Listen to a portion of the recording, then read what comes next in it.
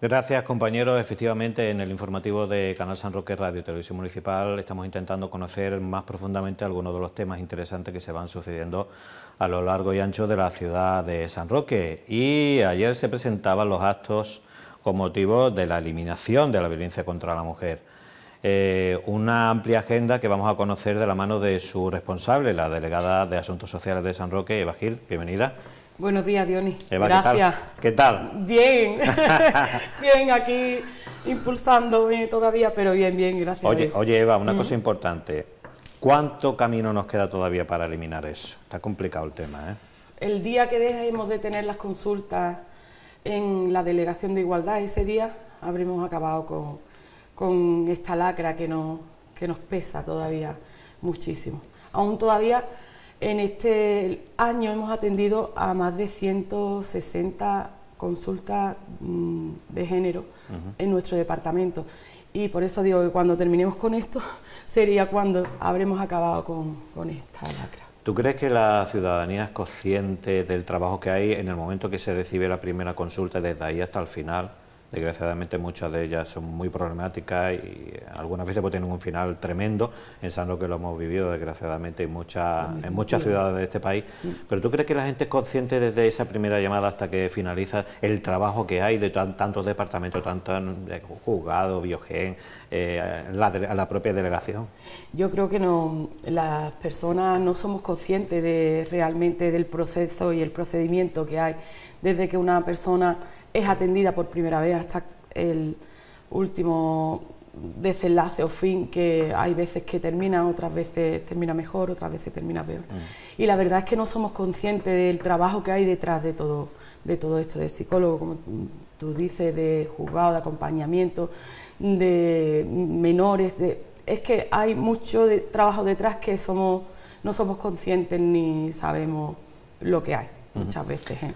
Ayer presentabas con el alcalde la agenda de actos, ¿no? Sí. Eh, eh, hemos visto que hay talleres, charlas, en la carrera, eh, tenemos conferencias en los institutos, los colegios, con asociaciones de mujeres, en fin, abarcáis todo el, campo posible. Cuéntame un poco esa agenda, cómo la habéis ideado y qué es lo que vamos a poder vivir.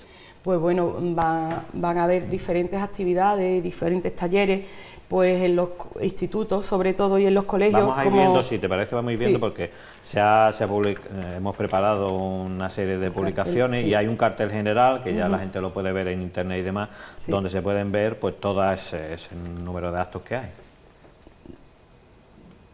Los, te, los puedo, te, los puedo, ir contando. Pues bueno, Va a haber desde un taller de prevención que se llama Vamos a querernos más para el segundo curso de la secundaria en los institutos de José Cadalso, Castilla del Pino, Sierra Almenara y Mal del Sur. Luego el taller de acoso que va destinado a los alumnos de sexto de primaria, que es un taller eh, contra el acoso mm, con perspectiva de, género y también incluye mm, de educación sexual, que también es un tema importante a tratar en la adolescencia. Luego también una charla, taller de empoderamiento y también de Femirisa, que lo hemos estado impartiendo durante estos días. Porque, te hemos visto, te hemos visto. Sí, hemos estado por, por todas las asociaciones de mujeres de todo el municipio, que han sido ocho, y bueno, en uno se ha hecho el de la Femirisa, que también pues bueno es para sensibilizar también a la mujer y, han tenido lugar en todas las sedes de las eh, asociaciones de mujeres del municipio. Y vamos a acabar el día 23 con el taller de empoderamiento en la Asociación de Mujeres La Bomba de San Enrique, que acabaremos el día 23. ¿Vale? Luego también vamos a continuar con el acto del día 18, que sería la carrera contra la violencia de género, bueno, yo a todas las actividades, por favor, invito a todo el mundo a que participe en ellas porque creo que es una forma de, visibilizar y sensibilizar pues esto que, es el acoso eh, y la violencia de género que, invito a todos a que participéis contra, contra esto. Y bueno, eh, eso, la carrera que tendrá lugar el día 18 eh, a las once y media eh, saldrá de la Alameda, Alfonso, Alfonso XI, y a todas las personas que no se hayan inscrito antes del día 16, pues les invito a que una hora antes de la carrera puedan también asistir a, esta carrera. Bueno, durante la carrera pues eh, no es una carrera en sí, es algo, mm, lo llamo yo simbólico, porque quiere, quien vaya mm, corriendo, quien vaya andando, pueden ir de todas las formas, ¿vale? Que no hay que ir corriendo, porque yo no la haré corriendo, yo la haré andandito, si hay que dar un acelerón en cualquier momento que se da, pero invito a todo el mundo, a niños, adultos, mujeres, hombres, a todos a que corramos ese día. Y bueno, también el día 22 tendremos la conferencia de Yolanda Domínguez, que es una escritora que ha escrito un libro súper interesante, que se, y va a dar una charla coloquio eh, cambiar las palabras para cambiar el mundo. Y tendrá lugar en el teatro a las 6 de la tarde el día 22 de noviembre.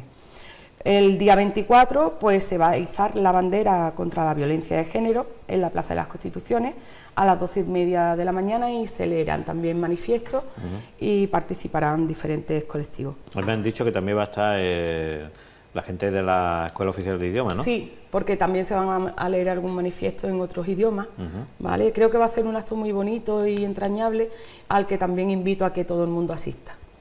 Y ya pues el 30 de noviembre pues acabamos con nuestros actos, porque todo se ha hecho alrededor del día 25, se han hecho antes y después, eh, que será en el Teatro Juan Luis Galiardo, eh, una presentación de la, eh, se va a llamar La Conspiración Cupido, que es como una representación teatral que va a llevar a cabo Cadigenia y bueno, asistirán los alumnos y alumnas de primero de bachillerato de todos los institutos. Y bueno, también todas las asociaciones por su parte pues van a ir haciendo durante todas estas esta fechas, pues hacen también todos mm, talleres, o hacen charlas, otras hacen teatro, eh, como la Asociación Molinos de Fuego, eh, la Asociación Las Flores 2.0, Carmen Bru, eh, la Plaza La Bomba, la Charca de Torre Guadiaro y también me falta una mm, que eh, sí, eh, hay, me falta alguna asociación Mudecar, eso, que también se me olvidaba, que también hace actos durante estos días. Oye, cuéntame un poco, cuando has estado haciendo las visitas con el taller, que has estado en, en un gran número de talleres, con las mujeres y demás. Esa ha sido quizás una primera toma de contacto con, eh, con la ciudadanía, ¿no? Después, después de ser nombrada concejal de, y responsable mm. del departamento. ¿Qué te, ¿Qué te, han trasladado las mujeres? ¿Qué te hablan? ¿Qué te cuentan? Ay, pues mira, Diony, te tengo que decir que es verdad que al ser la primera toma de contacto mía, he asistido a todas porque quería, además, eh, mm, pues tener ese primer contacto con ellas y conocerlas y saber cuáles son... Eh, lo que ellas, digamos, qué es lo que ellas me trasladaban, qué es lo que ellas eh, tienen como déficit en sus asociaciones, o que me dijeran sus ideas a la hora de hacer talleres o a la hora de, hacer con ellas pues, mm, actividades y cosas. Y entonces, pues la verdad es que mm, todas mm, han tenido una acogida conmigo súper especial, muy bonita y la verdad es que estoy encantada con todas las asociaciones de mujeres. La verdad es que no ha habido ninguna que, que haya destacado de una manera mal, al contrario, todas todas han sido súper especiales conmigo y, me han dado mucho ¿Y te han trasladado alguna idea que se puede fraguar en el futuro, no? Pues, pues sí, todas tienen, ¿eh? todas tienen y mucho. Eso está bien, eso La verdad es que sí, me las he anotado me las he anotado y ya las he trasladado al departamento para ver si se pueden ir haciendo algunas de ellas.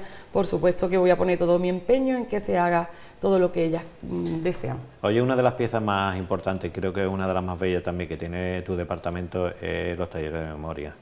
Bueno, que llevan ya un montón de años trabajando, el ayuntamiento ahí se ha desfogado siempre para intentar que aquello siga para adelante y demás. Hoy en día un éxito en todo el municipio y demás. Bueno, cuéntame un poco porque también ha hecho visitas, ¿no? Sí, he hecho visitas a todos los talleres de memoria y tengo que decir, eh, como primicia, que se van a incluir y ya están en proyectos ya para empezar incluso en este mes va a comenzar nuevos talleres de memoria, que son tres, uno en campamento, otro en Puente, eh, perdón, está el de Campamento, el de Taraguilla y uno más en San Roque Casco, ¿vale? Esos tres son nuevos, que se van a, impartir nuevos y bueno, sea una parte que se han metido en presupuesto ya para el año que viene, pues son tres talleres que nos lo estaban requiriendo la población y se van a crear estos tres, tres talleres nuevos. Oye, cuéntame algo así muy rápido, que no tenemos mucho tiempo. Eh, actos para los derechos del niño. Bueno, pues con motivo de la celebración de este día, que es el 20 de noviembre, pues se van a realizar actividades eh, para los alumnos de quinto de primaria, eh, con el objetivo de sensibilizar y concienciar desde las escuelas para el respeto y la defensa de los derechos de la infancia. Dentro de las políticas de prevención y participación de la infancia y la adolescencia que se lleva a cabo, desde mm, el Departamento de Igualdad y Asuntos Sociales, queremos mantener la línea de colaboración con los centros escolares del municipio, subrayando la labor de todos los profesionales docentes que trabajan con nuestra infancia. ¿vale? Entonces, estos talleres se van a impartir en los colegios también. Hablemos un poquito, que ya para terminar, hablemos un poquito de presupuesto. Porque ya, eh, ya tuve la, oportunidad de hablar con Fernando Vega, que digamos que es el instructor de, todo, pero claro, cada departamento del ayuntamiento ha tenido que trabajar para elaborar los suyos, claro, para, para incluirlos en, en él.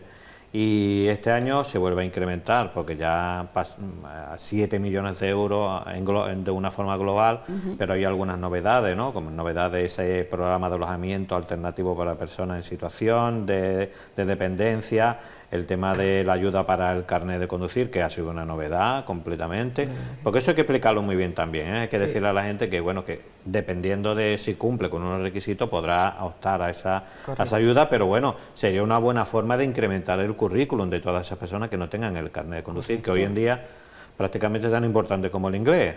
Correcto. Si no más. Bueno, cuéntame un poco, de forma general. Bueno, de forma general, el presupuesto pues ha aumentado en los límites que era el 5% y aparte pues se han aumentado otras partidas pues entre un 20, dependiendo un 20, un 30 o incluso más, un porcentaje mayor en aquellas partidas que lo requerían, como la política social que tenemos, que nuestro eje fundamental de este equipo de gobierno además es eh, pues la política social, se ha incrementado en las partidas que más requería ese porcentaje.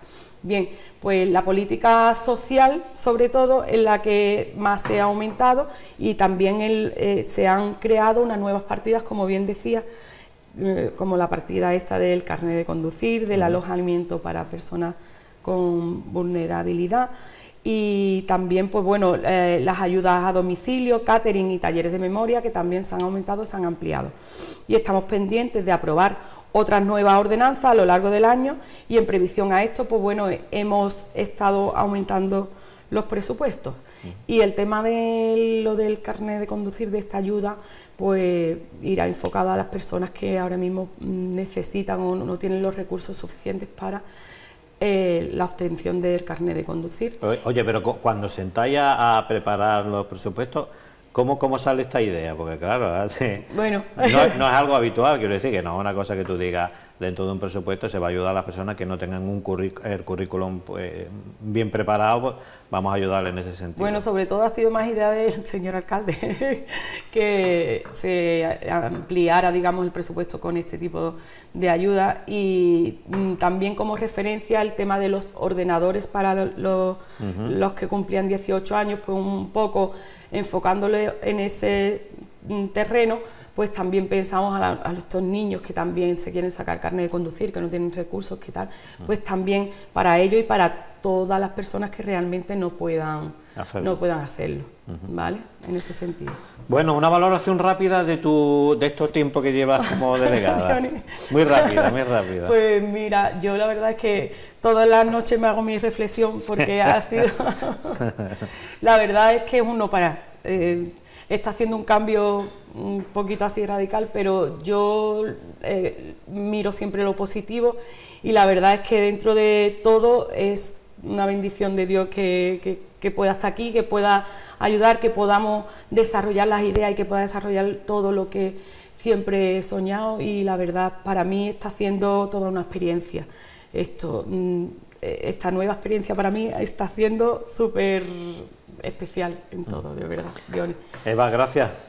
Gracias a ti, espero que haya sido de tu gusto porque me Yo creo que, que está muy bien que hayas podido explicar un poco mejor los actos, que tú sabes, muchas veces en una nota de prensa, pues tal, pero bueno, si la ciudadanía pueda y que lo puedas invitar, que puedas invitar a la gente a que disfrute de, esas actividades que al final, si no participa el público, ¿qué estamos haciendo? Por favor, yo animo a todo el mundo a que venga a las actividades, a que corran, a que, a que vayan a la, a la, conferencia de Yolanda, que va a ser muy interesante, están invitadas todas las asociaciones, pero aparte podéis ir todo el mundo, que va a estar muy bien y eh, va a ser en el Diego Salinas y va a ser una conferencia que a todos nos va a interesar.